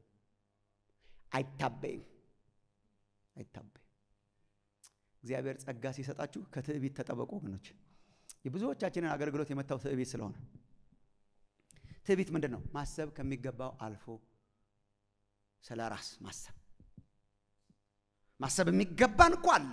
ማሰብ የሚገባን ልክ አለ። ለምሳሌ እኔ ይሄ ስጦታ አለኝ፣ አቤ ይሄኛው ስጦታ አለው፣ እህትንትና ይሄ ስጦታ አላት፣ እኔ በዚህ ያገለግላለሁ፣ እሷ በዚህ ታገለግላለች። እያንዳንዳችን መተን አካሉ ይገነባል። እኔም አስፈልጋለሁ፣ አቤም ያስፈልጋል፣ ሁላችን እናስፈልጋለን። መተን ግጥም ግጥም ስንል አካል ይኸውን ማሰብ የሚገባ አንተ ምንድነህ? አካሉን በመገንባት ሂደት ውስጥ በዚች አስተዋጽኦ ማድረግ ሰውዬ ነኝ። የቤተ ክርስቲያን ሁለንተና ነህ? አይ ይቺን ነው የማዋጣው እና እኔም አስፈልጋለሁ፣ እሷም ታስፈልጋለች። ይሄ ማሰብ የሚገባን ነው። normal ነው። እጅ እረ ስራ የለኝም ብሎ ማሰብ የለበት። እኔ የማረባ ውዳቂ ነኝ። ለምን? እግዚአብሔር ጸጋ ሰጥቶታል። አይንም ኧረ እኔ ምንም ማልችል እኔ ምንም እኮ ማለት እያየሁ ነው ነው እያየሁ አፍንጫም እያሸተትኩ ነው። ተመስገን። ምንድን ነው በአካል ውስጥ ያለ ድርሻ? አሽታችነት እንጂ ምንም አይባልም። እግዚአብሔር የጸጋ አምላክ ነው። የእግዚአብሔርን ጸጋም ማክፋፋት የለብንም። ሰጥቶናል። ይሄ ልኩ ነው። ማሰብ ከሚገባው በላይ አልፎ በትዕቢት ማሰብስ አይን ምንድን ነው ስራ ማየት። okay ሌሎችም አሉ፣ ግን ማየት ነው ዋናው ወንድሜ። ማየት ባይኖር አካል አለቀለት ነበር። በእኔ ምክንያት ነው አካል የቆመችው። እስቲ አስብ፣ እኔ ባልኖር እያንዳንድሽ ተከታይ ከስር ዋናው እኔ ነኝ አይተኬው እንዴት ሳያዩ መኖር ይቻላል? ዋናው ማየት ነው። ይሄ ማሰብ ከሚገባው አልፎ በትዕቢት ስለ ራስ ማሰብ። ዝርዝር ትምህርቱን ከፈልጋቸው አንደኛ ቆሮንቶስ አስራ ሁለትን አንብቡ። አካል ሁሉ አይን ቢሆን መሄድ ወዴት በተገኘ ማን ይሄድለታል? ማን ይሰማለታል? ማን ያሸትለታል? ማን ያጥበዋል? ማሰብ ከሚገባው በላይ ወገኖች የጸጋ ሲሰጣችሁ ቤተ ክርስቲያንን በጣም ከምትታመስበት ነገር መካከል አንዱ ማሰብ ከሚገባው በላይ ራሳችንን የመጨረሻ extreme importance እኔ እኮ ምሳሌ እኮ ጠቅሳለሁ። በቃ ከሰዓት ስለምጨርስም አስተማሪው ይቆምና እንደኔ አይነቱ እያንዳንዳችሁ ደህና ናችሁ፣ እናንተ ጥሩ ነው ታገለግላላችሁ፣ ግን ዋናው የእግዚአብሔር ቃል ማስተማር ነው። ቃል አስተማሪ ባይኖር ኖሮ ቤተ ክርስቲያን እስካሁን ድረስ ገደል መግባቷ ነበረ። በኑፋቄ ትምህርትና አለቀልን ነበር። ጥቅስ ደግሞ አለ ለሁሉ ጥቅስ ለሁሉ አለ። በመስበክና በማስተማር የሚደክሙቱ እጥፍ ክብር ይገባቸዋል ተብሎ ተጽፏል። እና እኛን ኩስምን ያለን ያደረጉናል። ምንድነው አገልግሎት? ቸርች ማጽዳት ጥሩ ነው። ምንድነው አገልግሎት? መዘመር ጥሩ ነው። ነው። በርቺ። ጥሩ ነው። በምንድን የምታገለግለው? ትንቢት ደህና ነው። ራስን ጠብቅ። ጥሩ ነው። ምንድነው አገልግሎት? መምከር። ጥሩ ጥሩ፣ ደህና ደህና። ዋናው ምን እንደሆነ ልንገርህ። የእግዚአብሔር ቃል ትምህርት ማስተማር፣ ማሰብ ከሚገባው አልፎ ደግሞ መድረክ ላይ ስለምንታይ እውነት ይመስላል። አሁን እኛ ሁላን ሁሉ በሁሉ አንመስልም። የ church ልክ ጆሮ እንደሚመስለው ማለት እኮ ነው። ውስጥ ልብ መከራዋን እየበላች አትሸለም፣ አትታይ፣ ፓ ቤታ ቤት አትባል፣ ሶስት የጌታ ይባርክሽ ተብላ አታውቅ። በጣም እኮ church እኮ በጣም እኮ ውስጥ እኮ የተደበቁ ሰዎችን እኮ ማየት የማንችል እኮ ሆነናል። ዋና እዛ ቁጭ ቁጭ ብሎ ትንፋሽ እየተነፈሰ እኛ እንኳን ተኝተን የሚያሳድር አይታይ።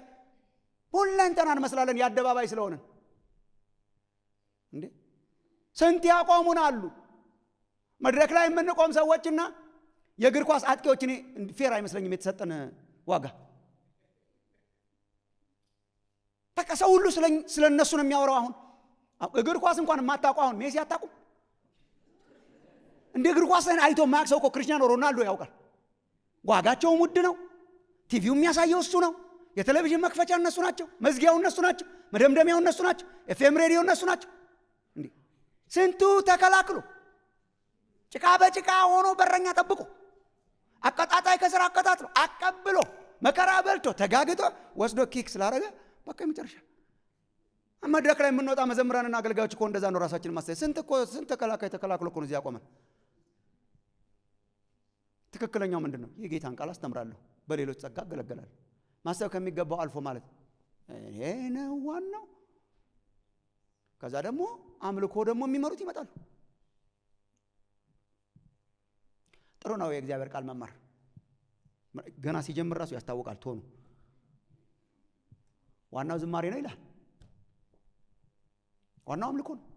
መንፈሱን የሚከፍተው የሚዘጋው፣ የሚለቀቀው፣ የሚታሰረው፣ የሚፈታ አምልኮ ባይኖር እስቲ ቸርችን አስባታል። መዝሙር ባይኖር ጥቅስ አለ። ይሄኛውም መንግስተ ሰማይ ውስጥ ስብከት አለ የለም። ትንቢት አለ የለም። ትንቢት እንኳን የለም። ፈውስ አለ የለም። በሽታ ስለሌለ ከጸጋ ስጦታ ሁሉ የሚቀጥለው ምን ይመስላል? በሰማይ መዝሙር ነው። ይሄ እኮ ተጨንቀው እኮ አይደለም ሰማይ ቤት ምን ጸጋ ስጦታ አለ የሚል አክብሩን ነው። ማሰብ የሚገባው normal ምንድን ነው? የእግዚአብሔር ቤት ውስጥ እናገለግላለን። የጌታዬን ቤት ምስጋና በመምራትና በአምልኮ አገለግላለሁ እግዚአብሔር በሰጠኝ ጸጋ። ማሰብ ከሚገባ በላይ ማለፍ ማለት ማለት ነው። እኔ ከሌለው አምልኮ ከሌለ church አለቀለት። የታደሰው አእምሮ እንደዚህ አያስብም። የታደሰው አእምሮ በትህትና ያገለግላል። ሁሉ ማለት በዝርዝር ከሄድኩ ስለምነካካችሁ ነው እንጂ ሁላችን አለብን ውስጣችን፣ ሁላችን እዚህ ውስጥ አለች። ሹክ የሚለንም አይጠፋም። ምዕመናንም አሉ ሹክ የሚሉ ማሙሻ አንተ ባትኖር church የሚሉ አሉ ከሰማን አለቀልን። እንደዚህ አይነት አስተያየት መስማት የጀመራችሁ ቀን አለቀ። እኔ አንድ የማገለግልበት የነበረ ቦታ እዛ ካሉ አገልጋዮች እናወራለን። እንደዚህ አይነት ምክር ከመጣ ዝም ብለን እያወራን እንለፈው እንጂ ብዙ አንቀበል የሚል principle ነበረን የዛን ጊዜ።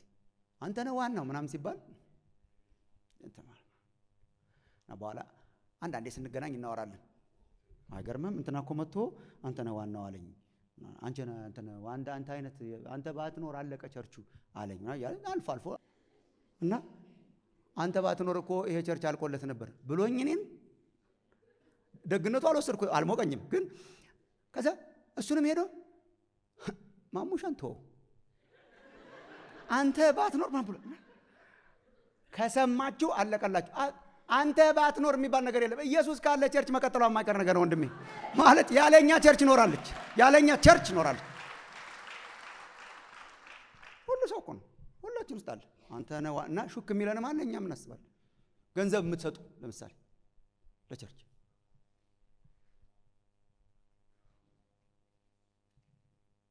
አንተ ወጥተህ ብጮህ ዘማሪ ቢደልቅ ማን የገዛው ኪቦርዱ? ህንፃውን ማን የሰራው? ያለ ብር እኖራለች። በጣም ተሞክራ ታልፏ። ብርና ወርቅ የለኝም እያለች አልፋለች። ይህን ያለኝን እሰጣለሁ እያለች ትክክለኛው እሳቤ ምንድን ነው? እግዚአብሔር በገንዘቤ እየሰጠው እንዳገለግል ረድቶኛል እና አገለግላለሁ። ወንድሞቼ ያገለግላሉ፣ እኔም በዚህ ያገለግላለሁ። የኔ ኃላፊነት በገንዘቤ ቤተ ክርስቲያንን መደገፍ ነው። ግን ከደጋፊዎቹ አንዱ ነኝ እንጂ ዋና ብር ኧረ እነዚህ እንኳን ደህና ስለሆናችሁ ለምን እንደምጨቀጭቃችሁ ገንዘብ ስለሰጡ የመጨረሻ ዋና የቤተ ክርስቲያን አሽከርካሪ መሆን የሚፈልጉ ሰዎች እንዳሉ ታውቃላችሁ። እኔ ነኝ ዋናው። በቃ ባልኖር ቱቦ ይዘጋል።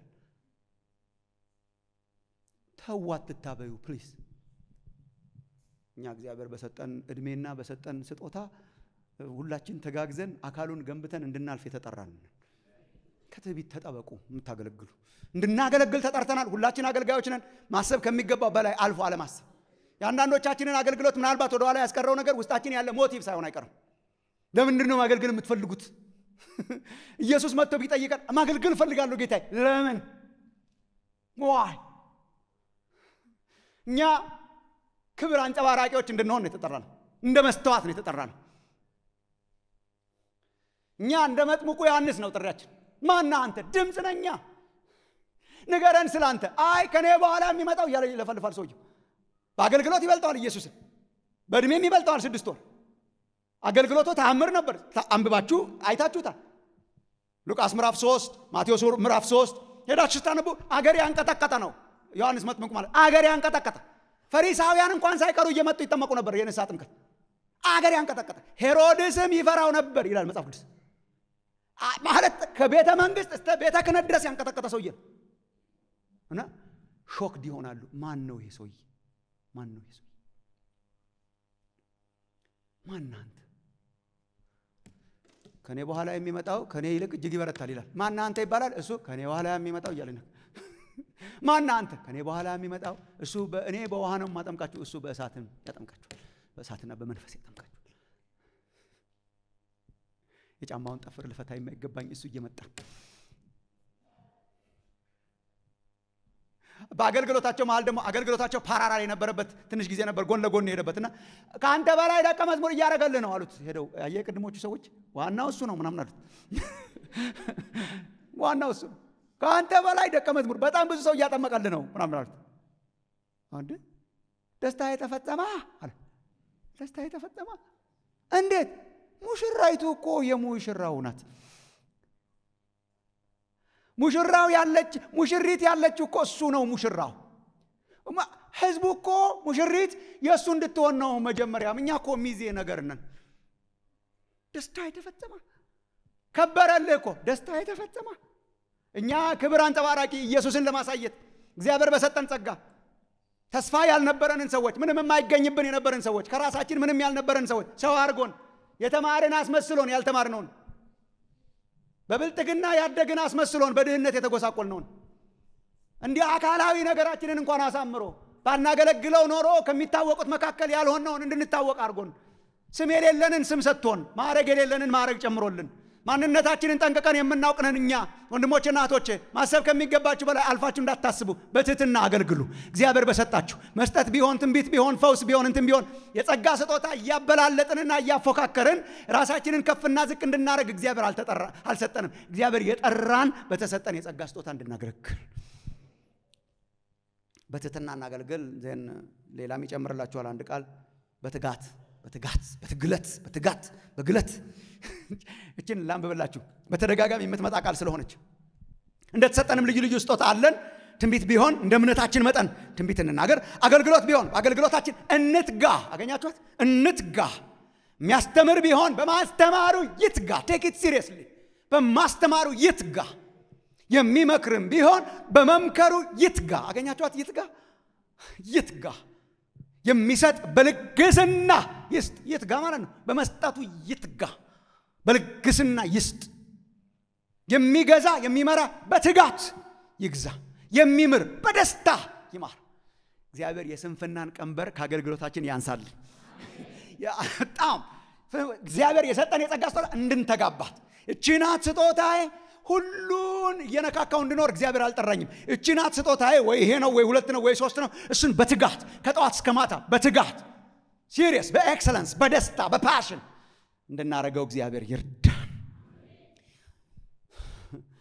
አንተ የምትተኛ ንቃ። ምን ላይ ልንቃ? አገልግሎት ላይ ንቃ። አገልግሎት ላይ ንቃ። የጸጋ ስጦታ ተሰጥቶናል። ወደ አካሉ ተጠርተናል። ቀርበን በትጋትና በደስታ እናገልግል። ይህንን ዓለም አትምሰሉ፣ የእግዚአብሔርን ፈቃድ ምሰሉ። ምንድነው የእግዚአብሔር ፈቃድ ለአገልግሎታችን? ጸጋችንን አይዴንቲፋይ አርገን ጸጋችንን ለይተን በትህትናና በትጋት የክርስቶስን አካል እንድናገለግል ነው።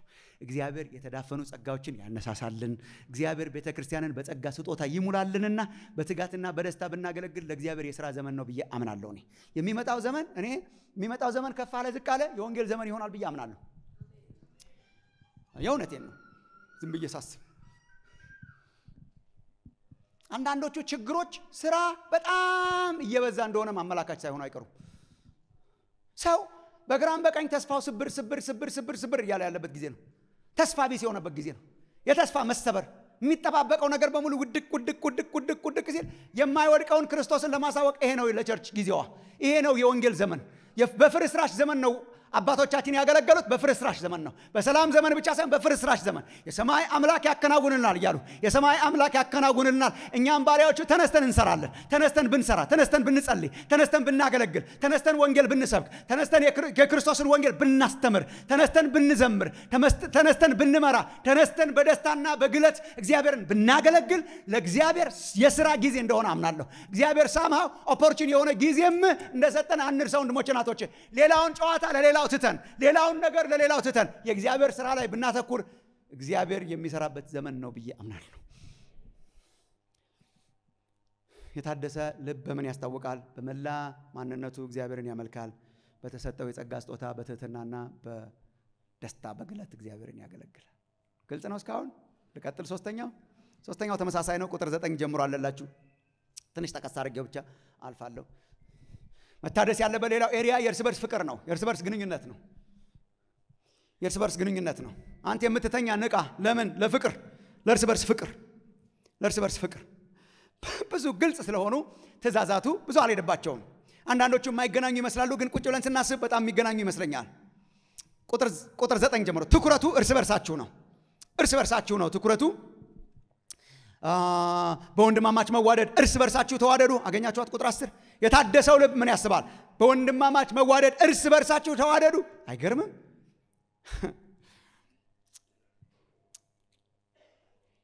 ፖዝ ትንሽ። በምን አይነት መዋደድ በሉታ? ወንድማማች መዋደድ። ይህ እኮ እግዚአብሔር የሰራው ስራ ነው። እግዚአብሔር ወንድሞችና እህቶች አረገን። ወንድማማች መዋደድ ማለት ወንድ ክርስቲያኖች ይዋደዱ ሳይሆን ወንድማማችነት ማለት ወንድምነትና እህትነት ማለት ነው። እግዚአብሔር ወንድሞችና እህቶች አደረገን። ይሄ የእውነት ነው ወይስ የሚመስል ነገር ነው? እግዚአብሔር የእውነት ወንድሞችና እህቶች አላረገንም? ዝም ብላችሁ ዳግም ልደትን አስቡ። ዳግመኛ ስንወለድ እኮ ወንድሞችና እህቶች አደረገን። ዘራችን አይገናኝ፣ ቋንቋችን አይገናኝ፣ እንትናችን አይገናኝ፣ ክላሳችን አይገናኝ፣ እንትናችን አይገናኝ። ኢየሱስ ዳግመኛ ወለደንና በቤቱ ሲወልደን ወንድሞችና እህቶች አደረገን። በወንድማማች መዋደድ እርስ በርሳችሁ ተዋደዱ እርስ በርሳችሁ ተከባበሩ። ይኸው ቁጥር አስር እርስ በርሳችሁ ቅዱሳንን በሚያስፈልጋቸው እርዱ። ቅዱሳን ቁጥር 16ም ላይ እርስ በርሳችሁ በአንድ አካል በአንድ ሀሳብ ተስማሙ። እርስ በርሳችሁ እርስ በርሳችሁ እርስ በርሳችሁ እግዚአብሔር ሲያድስ ምንን ያድሳል? እርስ በርሳችሁ ፍቅር፣ አንድነት፣ ህብረት፣ የወንድማማች መዋደድ የወንድማማች መዋደድ። እንደው የገረመኝ አንድ ቃል ለምሳሌ ላንሳላችሁ። ፍቅራችሁ ያለ ግብዝነት ይሁን ይላል። አገኛችሁት? ቁጥር ዘጠኝ ፍቅራችሁ ያለ ግብዝነት ይሁን፣ ክፉን ነገር ተጻይፉት፣ ከበጎ ነገር ጋር ተባበሩ። ፍቅርም ይገበዛል ማለት ነው። ግብዝነት ምንድን ነው? ግብዝነት ማለት ግብዝ ማለት ቲያትር የሚሰራ ማለት ነው። ሊትራሊ ቃሉ የቲያትር ቤት ቃል ነው። ግብዝ ማለት ያልሆነውን መሆን የሚችል ማለት ነው። ዝም አላችሁ፣ እየሰማችሁኝ ነው፣ ታስታውቃላችሁ። ግን ግብዝ ማለት እኮ እሱ ነው። ቃሉ ራሱ የሃይማኖት ያደረጉት ኢየሱስ ሐዋርያቱ ምናምን ናቸው እንጂ ደንበኛ የ play ነው። በቃ ቲያትር ቤት ገብታችሁ ቲያትሩ እየተነበበ ያን ጊዜም ቢሆን ቲያትር ነበረ። ቲያትሩ እየተነበበ ቲያትሩን act የሚያደርገው ሰውዬ እሱ ነው። እሱ ነው ቃሉ ተዋናይ ማለት ነው። ሀያ አምስት ዓመቱ ሊሆን ይችላል ልጁ ግን ሽማግሌውም ጎበጥ ብለው ጠጉሩንም አንጥቷል። የሀያ አምስት ዓመት ልጅ ነው ብሎ ለማመን ያስቸግራል። ለምን? የተሰጠው ሚና ትልቅ ሰውዬ ሆኖ መጫወት ነው። ከዛ በኋላ ሲጨርስ ወደ ዋናው ማንነቱ ይመጣል። እሱ ነው ግብዝ ማለት እና ፍቅራችሁ ልስን ፍቅራችሁ ያለ ግብዝነት ይሁን። የፍቅር ቲያትር አትስሩ ማለት ነው ባጭሩ። የፍቅር ድራማ አትስሩ።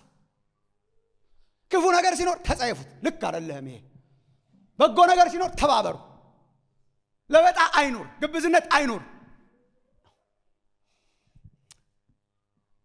በቸርች ውስጥ ካዳበርናቸው ችሎታዎች መካከል አንዱ መጣላት ብቻ ሳይሆን መጣላታችን እንዳይታወቅ መሆን ነው።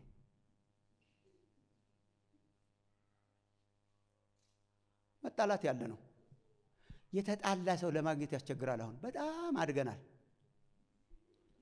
አሁን እንትናና እንትና እኮ በጣም ለእንትን የሚፈላለጉ ሰዎች ናቸው ሲባል church ውስጥ አንዳንድ ይገር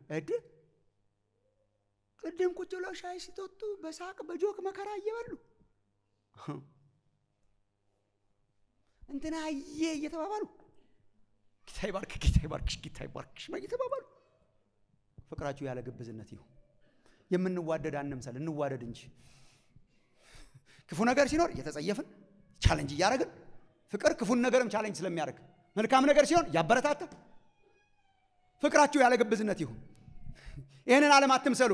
ይህ ዓለም ምን አይነት ነው? ይህ ዓለም ሳይስማማ የተስማማ ይመስላል። ይህ ዓለም ሳይዋደደ የተዋደደ ይመስላል። የዚህ ዓለም ሀሳብ በቃ የተዋደደ እናንተ ግን በወንድማማች መዋደድ ተዋደዱ። እርስ በርሳችሁ እርስ በርሳችሁ ተከባበሩ። እርስ በርሳችሁ ተነጋገሩ። አትገበዙ፣ ግብዞች አትሁኑ። የግብዝነት ፍቅር ማለት ኢየሱስ ያለው ማለት ነው። ይሁዳን ኢየሱስ እኮ ሉቃስ 22 ላይ ስታነቡ የገረመው የሚመስለኝ ይሁዳ አሳልፎ መስጠቱ አይደለም። አሳልፎ እንደሚሰጠው ይናገር ነበር። ከዛ ራባይ ምናምን ብሎ ሄዶ ሲስመው በጣም challenge ያደረገው ነገር ይሁዳ የሰውን ልጅ በመሳም አሳልፈ ትሰጣል። ሰው እንዴት እየሳመ አሳልፎ ይሰጣል? ማለት ሰው እንዴት እየሳመ ጌታ ይባርክ እያለ ሰው እንዴት ሳያስታውቅ ተጣልቶ ይኖራል? የጥላቻ መርዝ በልቡ ይዞ ይኖራል። ወገኖቼ ካለ እግዚአብሔር መርዙን ያውጣልን። እናንተም አውጡ። ካለ ማውጣት ይሻ እያጠራቀሙ መኖር ምን ያደርጋል? እግዚአብሔር ልብን ያያል፣ መሳምን አይደለም የሚያየው። እግዚአብሔር ውስጥን ያያል። ከፍቅር በስተቀር ዕዳ አይኖርባችሁ። አትሸከሙ ወንድሞች፣ እናቶች። ፍቅራችሁ ያለ ግብዝ ይሁን፣ እብነት ይሁን። እርስ በርሳችሁ ተከባበሩ፣ ተነጋገሩ። እውነተኛ ይሁን፣ በመመካከር ይሁን፣ ተግባራዊ ይሁን። ቅዱሳንን በሚያስፈልጋችሁ እርዱ። ይሄ ነው። ምናችን ይታደስ? ፍቅራችን እርስ በርስ ያለን። እኔ የፍቅር ድንኳን የተናጋበት ዘመን ነው ብዬ አምናለሁ። ወደሚቀጥለው ከሜዲ ፊት ሰማው የፍቅር ድንኳናችን በጣም የተናጋችበት ዘመን ነው። ብዙ ማዕበል አግኝቷታል። በግራ በቀኝ ማዕበል እያናወጣት ነው። እርስ በርሳችን እንዳንከባበር፣ እርስ በርሳችን እንዳንዋደድ፣ እርስ በርሳችን የእግዚአብሔርን ክብር አብረን ሰማው እንዳናጎላ፣ እርስ በርሳችን አንዳችን ለአንዳችን ለበረከት እንዳንሆን፣ ተከባብረን እንዳንኖር፣ በጥርጣሬ እንድንኖር የሚያረጉ በጣም ብዙ የውስጥም የውጭም pressure በጣም የበዛበት ጊዜ ነው። እግዚአብሔር ቤተ ክርስቲያንን ያንቃ ወገኖች። ብዙ መሄድ አልፈልግም፣ ግን በጣም ብዙ በጣም ብዙ የጎሳ የቋንቋ የሚያናውጡ ማዕበሎች እያረጓት ነው church።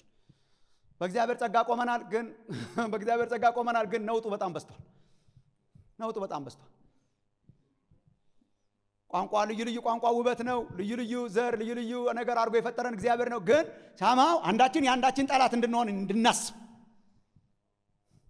የሚያረጉ ኢየሱስ ክርስቶስን አንድ ላይ እንዳናከብርም እንዳናስከብርም የሚያረጉ በዚህ ዘመን እንዴት እንኖር ብላ church ማሰብ አለባት። ወንድሞች እናቶች፣ ዓለም እየተናወጠ ባለበት አንዱ actually ይህንን ዓለም አትምሰሉ። ይሄ ነው አንዱ።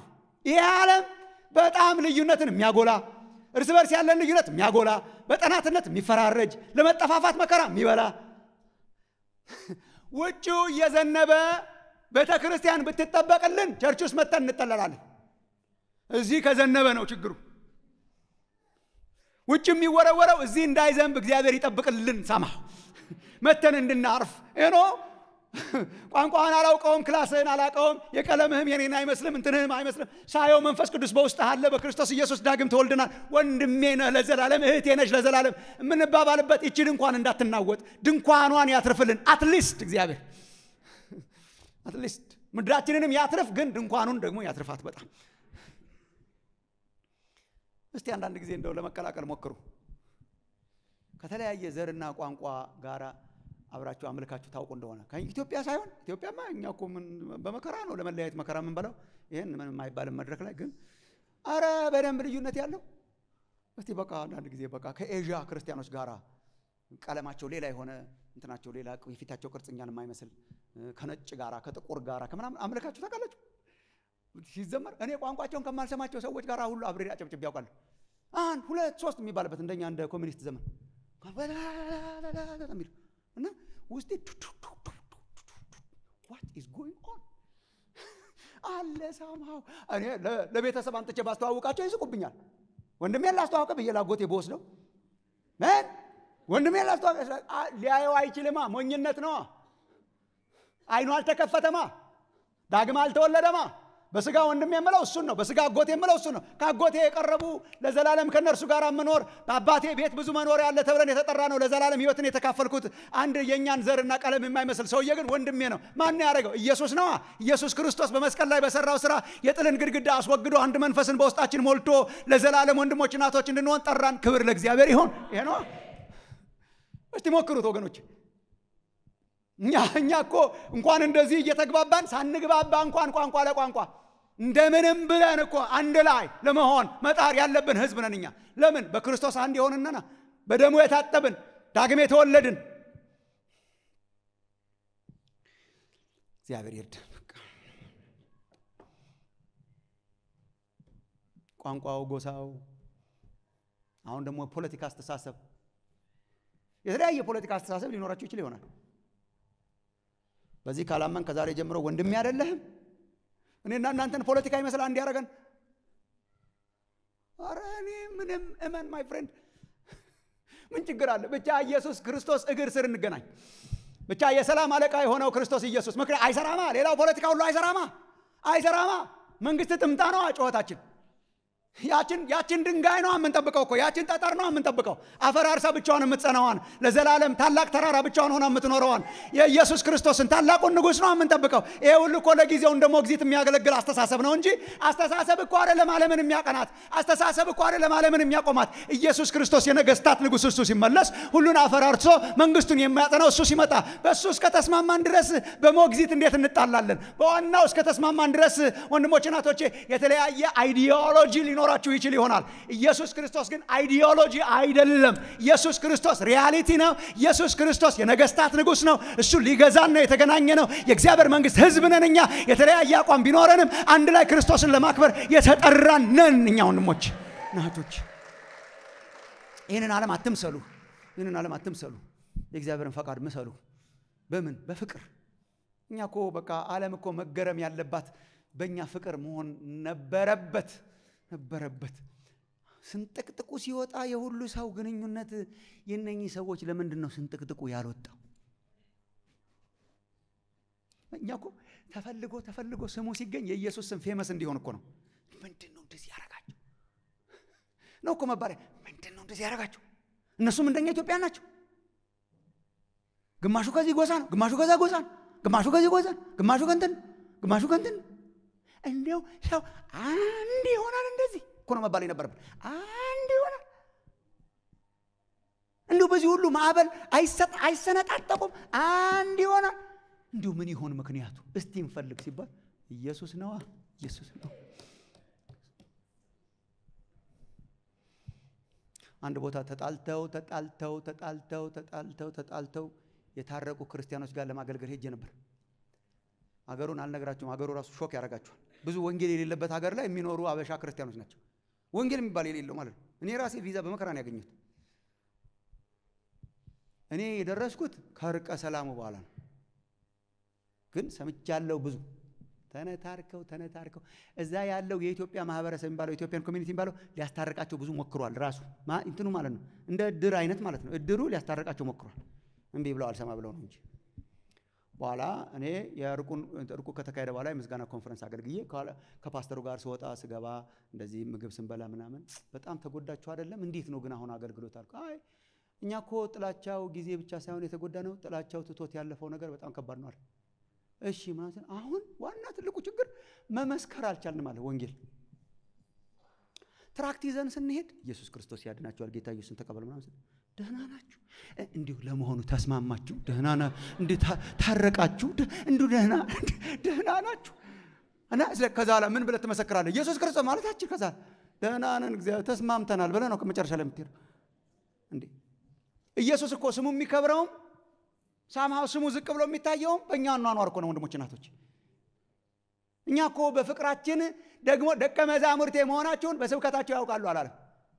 ስብከት ሊኮረጅ ይችላል። ፍቅር አይኮረጅም።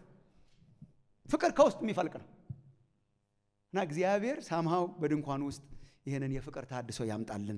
የአምልኮ ተሃድሶ፣ የአገልግሎት ተሃድሶ፣ የፍቅር ተሃድሶ መጨረሻ ላይ ተልእኮ ነው። እናንተ ራሳችሁ እዩት። ራሱ text ኡ ይቀየራል፣ tone ኑ ይቀየራል።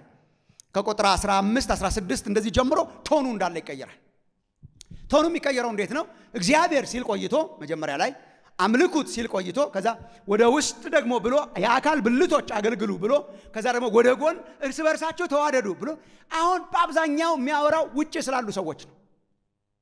የቤተ ክርስቲያን ተልእኮ ስለሆነ ውጭ ያሉ የሚያሳድዱ ሰዎችን በተመለከተ ደግሞ ምናችን ይለወጥ ነው። ስለሚያሳድዷቸው ነው። I think ስለሚያሳድዷቸው ነው። ስለማይወዷቸው ሰዎች ነው። ቁጥር 14 የሚያሳድዷችሁን ይላል። አየህ ወጥቶ እኛ ተልእኮ አለብን ማለት ነው። ለሚያሳድዱ የሚያሳድዷችሁን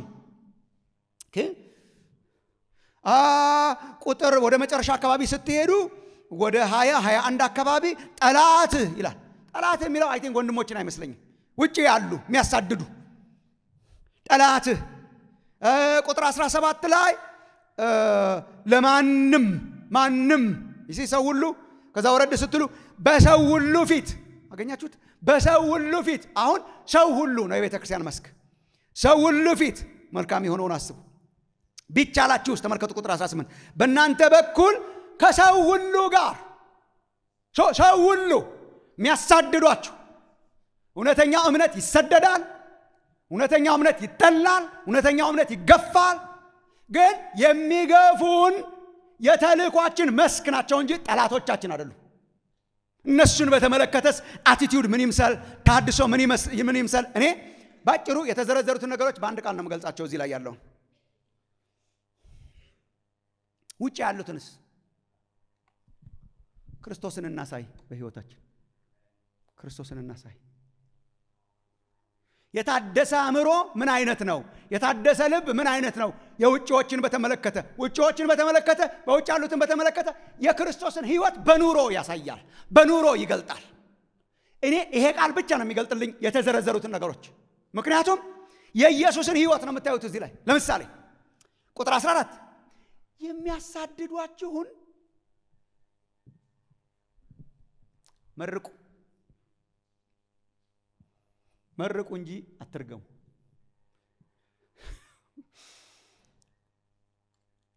ኢየሱስ ትዝ አይላችሁ? እየወጉት እየቸነከሩት አባት ሆይ የሚያደርጉትን አያውቁምና ይቅር በላቸው። መርቁ መርቁ እንጂ አትርገሙ። ማቴዎስ አምስትም ላይ ትሰደዳላችሁ ይላል፣ ትነቀፋላችሁ፣ የውሸት ወሬ ይኖራል፣ ያስወሩባችኋል፣ ግን መልካም ኑሮ አሳዩአቸው ይላል ምዕራፍ 5 ቁጥር 16 መልካሙን ደግሞ ኑሯችሁን አይተው በሰማያት ያለውን አባታችሁን እንዲያከብሩ ምሽናል። መልካም ኑሯችሁን አሳዩአቸው ይላል። ጠላት ቢራባ ብላው እኔ ኢየሱስ ነው የሚታየኝ፣ ቢጠማ አጠጣው ኢየሱስ ነው የሚታየኝ። ቁጥር 17 በሰው ሁሉ ፊት በቃ ስራችሁ ኑሯችሁ አሳባችሁ መልካም ይሁን። በክፉ ፋንታ ክፉ አትመልሱ። ክፉ ሲያደርጉባችሁ በጎ መልሱ። ይሄ ሲሆን ክርስቶስ ይታያል። ይሄ ሲሆን በሚያሳድዱን ፊት የክርስቶስ ኢየሱስ ፍቅር ይታያል፣ ደግነቱ ይታያል።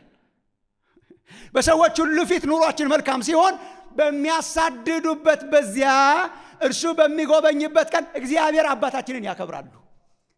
በሚያሳድዱ መካከል፣ በሰው ልጆች መካከል በሰው ልጆች መካከል በሰው ሁሉ ፊት መካከል በሰው ሁሉ ልጆች መካከል በሚያሳድዱን መካከል በሚጠሉን መካከል ውጭ ባሉት መካከል እንዴት እንኖር? የክርስቶስ ኢየሱስን ሕይወት እያሳየን ፍቅሩን እያሳየን ሲያሳድዱን እየባረክን ሲሰድቡን እየባረክን ክፉ ሲያደርጉብን መልካም እያደረግን ክርስቶስ ኢየሱስን እያሳየን ይሄ ምን ያደርጋል? አንድ ቀን ኢየሱስ ክርስቶስን ያከብራሉ ስለ መልካም ስራችን። ወገኖቼ እግዚአብሔር የሰጠን የፍቅር ኃላፊነት ለሰዎች ሁሉ ነው። እደግማለሁ። እግዚአብሔር የሰጠን ኃላፊነት ለማያምኑ ሁሉ ነው። ለሚያምኑ እርስ በርስ ብቻ ሳይሆን ለማያምኑ ሁሉ ባርኩ፣ ለማያምኑ ሁሉ መልካም አድርጉ።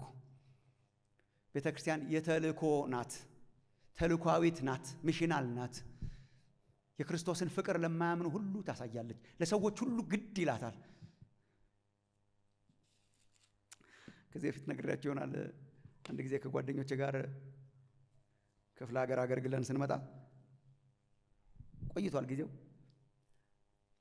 እየመጣ እሁድ ቀን ነበር። እሁድ ጠዋት ተነስተን ወደ አዲስ አበባ እየመጣን ከዛ የሆነ ከተማ ስንደርስ አንድ ወንድም ለምን እዚህ ከተማ አምልከን አንሄድም ምናምን አለና እሁድ ስለሆነ ለማምለክ ገባን ማለት ነው። አንድ church ግቢ። ከዛ ወደ አዳራሹ ከመግባታችን በፊት እንትን ውስጥ የቸርቹ ግቢ ውስጥ የሚጫወቱ ህፃናት ልጆች ነበሩ እና ይጫወታሉ ህፃናቱ እና እየተጫወቱ እያለ ከህፃናቶቹ ጋር ማውራት ጀመረ። ደህና ናችሁ ልጆች? እያለ ከዛ መኪና ውስጥ ብስኩት ምናምን ስለነበረን ብስኩት ምናምን ለመስጠት ብስኩት አወጣውና ከዛ አሁን ብስኩት ልሰጣችሁ ነው እና ደስ አላቸው። ከዛ እስቲ ብዬ እኔ እንዴት እንደመጣልኝ እስቲ መጀመሪያ ቁጠርና ስንት እንደሚያስፈልግ ንገረኝ፣ ቁጠራቸው እስቲ ጠቅላላ አልኩ። ቁጥሩን exactly ልነግራችሁ አልችልም አሁን ስለማላስታውሰው፣ ግን ጀስት እንዲያመቻችሁ አንድ አስር ይሆናሉ። ዝም ብለህ በመደዳ ያሉት ልጆች አራት አለ። አንተ ቁጥር አታውቅም እንዴ? እስቲ እንደገና ቁጠር። መጀመሪያ ማሰቡ ራሱ ይገርም። አንድ ሁለት ሶስት አራት ምናምን ማለት ያለብህ አራት እነኚህ ሁሉ ልጆች አይደል እንዴ? ልጆች እንዲ ቁጥር አይ እነዛ ጴንጤዎች አይደሉ ለብስኩት ማለት ነው። አንዳንድ ጊዜ አስተሳሰባችን አይ አይነት ነው። የሚያሳድዱ ልባችንን ካልያዙት የክርስቶስን ወንጌል ለመስጠት የሚያሳድዱን ልባችንን ካልያዙት፣ የሚጠሉን ልባችንን ካልያዙት ኢየሱስ ክርስቶስ በእኛ ሊታይ አይችልም። የሚወዷችሁን ብትወዱ ምን ዋጋ አላችሁ አለ። ቃሉን ቀጥታ ነው የነገርኳችሁ። ምን ዋጋ አላችሁ? ምን ቫሌው አለ? የማይወዱንን ካልወደድን፣ የሚያሳድዱንን ካልወደድን፣ ክርስቶስን ፍቅሩን ካላሳየን ጨርሻለሁ። ግን አገራችን ውስጥ ሃይማኖት በጣም ከረረ። ሃይማኖት በጣም ከረረ፣ በጣም ጦዟል እና ብሽሽቁ፣ ስድድቡ ምናምን ተቀጣጥሏል